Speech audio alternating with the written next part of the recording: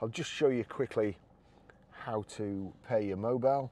So uh, into settings, into Bluetooth, watch out at the bottom, onto the phone here you've got audio, phone, nav.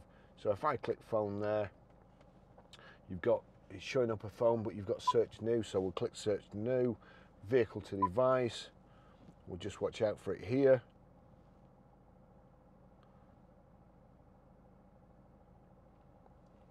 thinking about it. Turn the fan down and the heater as well. A bit warm in here.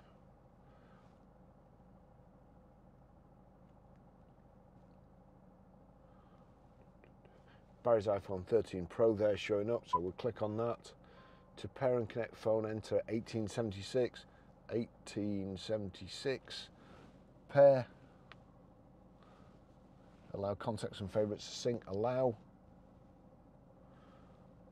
phone so that's it done.